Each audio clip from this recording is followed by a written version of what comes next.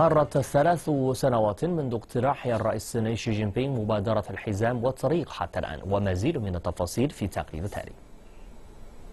منذ عام 2013 شارك أكثر من 100 دولة ومنظمة دولية في مبادرة الحزام والطريق. وقد وقعت الصين اتفاقيات مع أكثر من 30 دولة على طول الحزام الاقتصادي في مجال بناء البنية التحتية والقدرة الصناعية والأيدي العاملة. هذا وقد استثمرت الصين ما يقرب من 26 مليار دولار أمريكي في كازاخستان علاوة على ذلك فإن الصين قدمت لقرغيزستان مساعدات اقتصادية بمقدار نصف مليار دولار لتطوير مشروع مصفاة النفط. وجدير بالذكر أن الصين وفرت أكثر من سبعين ألف وظيفة جديدة للدول الواقعة على طول الحزام الاقتصادي.